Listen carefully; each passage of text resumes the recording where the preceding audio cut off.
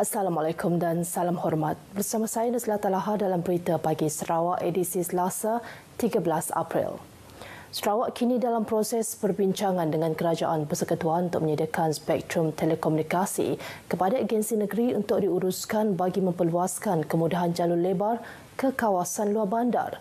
Ketua Menteri Datuk Patinggi Abang Johari Tun Openg berkata sekiranya perbincangan itu berjaya, pihak Sarawak Digital Economy Corporation SDEC sebagai agensi negeri akan melaksanakannya. So what happened? Ketua Menteri menjelaskan ia bagi membolehkan penduduk di luar bandar menerima akses internet berkelajuan tinggi ke arah menjadikan Sarawak negeri maju menjelang tahun 2030. We are discussing with the federal government to give that spectrum to the state agency and that is SDEC. Sarawak Digital Economy Corporation. And we will the spectrum to rural areas. So Google also have 5G. Beliau berkata demikian dalam sidang media selepas melancarkan Miri Bandaraya Pintar di Miri. Sarawak menawarkan pembelian anjing-anjing pengesan dadah kepada pihak penguatkuasaan unit anti dadah termasuk Polis Diraja Malaysia PDRM sebagai antara langkah drastik dalam bantras isu penudupan dadah ke negeri ini. Menteri Pelancongan Kebudayaan Kesenian Belia dan Sukan, Dato' Abdul Karim Rahman Hamzah berkata, ini kerana Sarawak amat memerlukan lebih banyak anjing-anjing terlatih bagi membantu pihak berkuasa membuat pengesanan dadah dengan lebih berkesan terutama sekali di pintu-pintu masuk ke negeri ini. PDRM do not have many dogs. Pihak custom do not have many dogs. Kalau tak silap saya, pihak PDRM untuk seluruh negeri Sarawak ada hanya dua ekor saja anjing. But port of entry kita airport port kapal border terbeduk dan sebagainya we have got so many parcel office hmm. so we need more dogs Dato' Abdul Karim menambah sebagai contoh PDRM mempunyai hanya dua anjing terlatih seluruh negeri dan jumlah tersebut tidak mencukupi untuk membantras kegiatan penyeludupan di setiap pintu masuk ke Sarawak sama ada di lapangan terbang maupun di sempadan. Beliau berkata demikian dalam sidang media selepas mempengerusikan mesyuarat Majlis Tindakan Membantras Dadah Negeri Sarawak 2021 di Kuching. Tambahnya lagi, kebelakangan ini taktik sindiket pengedaran dadah ke Sarawak dikesan melalui perkhidmatan pos dan perkhidmatan anjing-anjing tersebut amat diperlukan bagi melakukan pemeriksaan ribuan bungkusan di pejabat pos. Dalam pada itu, Dato' Abdul Karim memberitahu Lembaga Pelancongan Sarawak STB dengan kerjasama Grab Malaysia memperakui seribu pemandu Grab untuk program Duta Besar Sarawak. Mereka merupakan sebahagian daripada 5,000 pemandu e-hailing di Kuching, Sibu, Bintulu dan Miri yang disasarkan untuk menjadi Duta Besar Sarawak dalam sektor pelancongan negeri. Jelasnya STB berjaya mencapai matlamatnya untuk mewujudkan komuniti duta besar Sarawak dengan jumlah seribu pemandu Grab dalam kumpulan pertama itu. Beliau berharap semua pemandu e-hailing dilengkapi dengan pengetahuan untuk dikongsi kepada pelawat setelah sempadan dibuka. Datuk Abdul Karim menyatakan demikian ketika berucap dalam majlis penyampaian sijil e-learning untuk pemandu e-hailing di Kuching. Program itu khusus untuk pemandu e-hailing bertujuan untuk melengkapkan mereka dengan pengetahuan tambahan mengenai pelancongan di Sarawak. Modul pembelajaran dalam bahasa Inggeris, bahasa Melayu dan Mandarin itu merangkumi maklumat mengenai budaya dan warisan serta destinasi pelancongan di semua wilayah di Sarawak. Dalam majlis tersebut, Dato' Abdul Karim menyaksikan majlis menandatangani perjanjian kerjasama dan perkongsian antara STB, Malaysian Association of Hotel Sarawak, Chapter dan Core System Teknologi Sendirian Berhad. Kerjasama itu antara lain sebagai tambahan kepada kempen pelancongan dalam negeri versi 2.0 Siasi Tok Sarawak untuk warga Sarawak. Pembinaan empangan air berskala kecil di kawasan Samarahan akan diusulkan kepada kerajaan.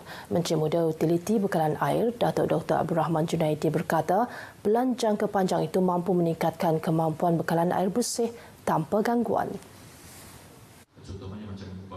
Bagaimanapun, Datuk Dr. Abdul Rahman berkata permukaan tanah di kawasan berkenaan yang rata menyukarkan pembinaan projek seperti itu. Kemudian sekiranya ada kawasan yang dikira sesuai, yang sedang ada tuan sedia tadi, mungkin kita boleh bawa ke atas untuk membina bangunan-bangunan kecil. Ditemui pemberita di Asajaya, jelas Datuk Dr. Abdul Rahman buat masa ini bekalan air bersih disalurkan dari empangan bengoh di Pedawan yang terletak kira-kira 150 km dari Asajaya. Sarawak terus mencatatkan peningkatan kes positif COVID-19 dengan 351 kes di kesan semalam. Ini menjadikan jumlah keseluruhan kes meningkat kepada 20,352 kes.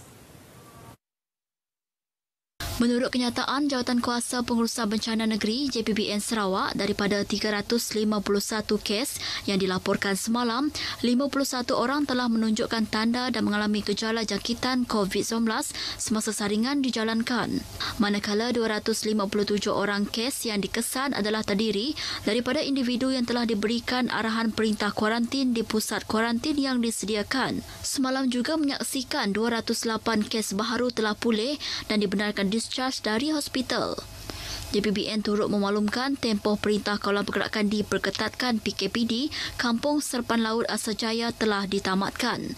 Sementara itu, tujuh daripada 49 kluster yang masih aktif menunjukkan pertambahan kes malam.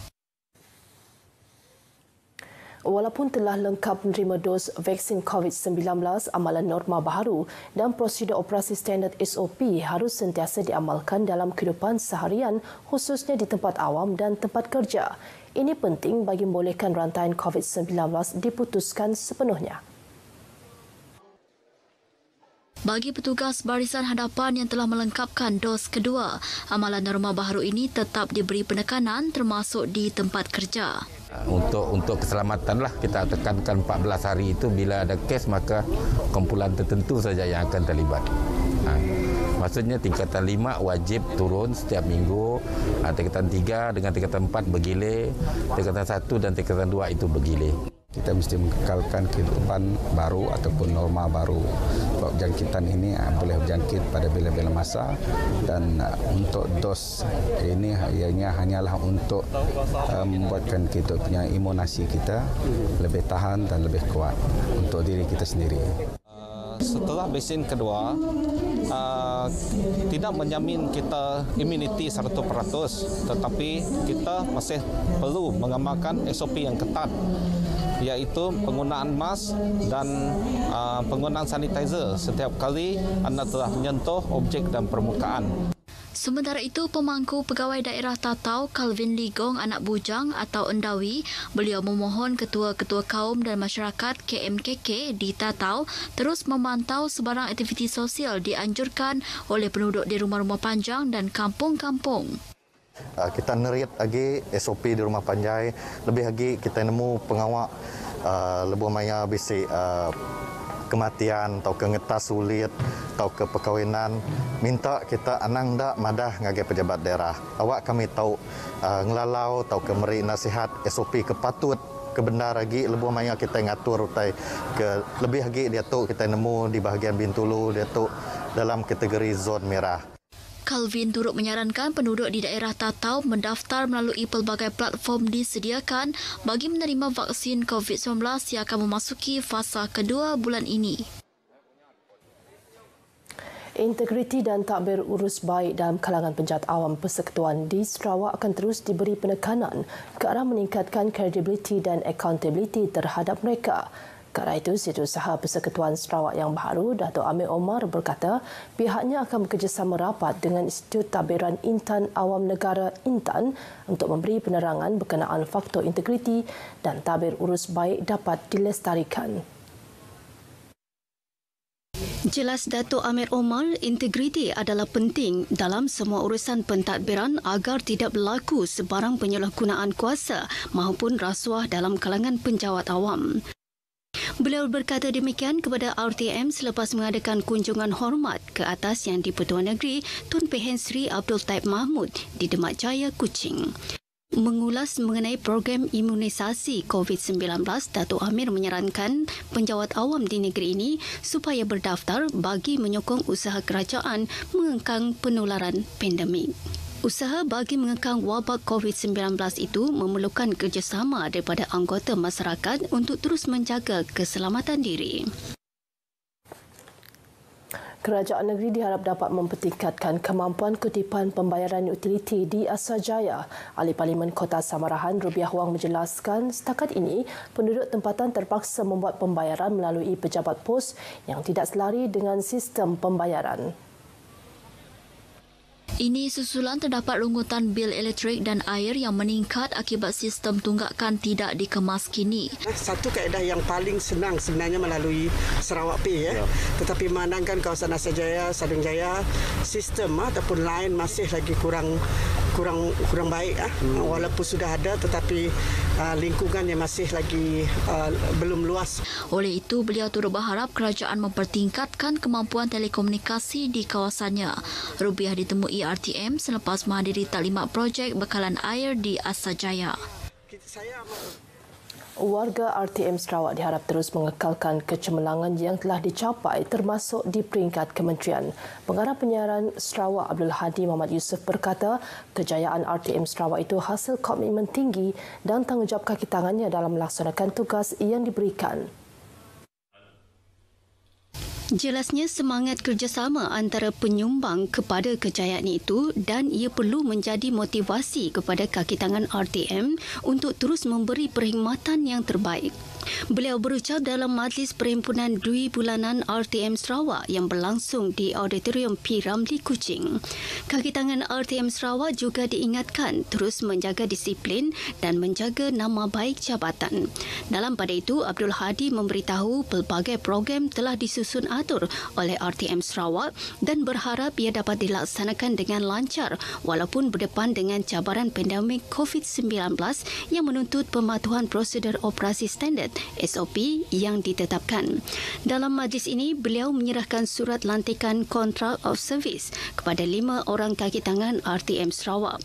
Turut diadakan ceramah motivasi oleh pensyarah kaunseling Universiti Malaysia Sarawak, UNIMAS, Dr. Edris Aden dan penyampaian hadiah kepada pemenang pertandingan street soccer anjuran Klub Rekreasi RTM Kuching.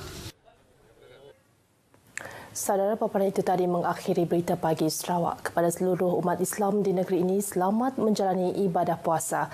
Saya Nuslat Laha, jumpa lagi dan Assalamualaikum.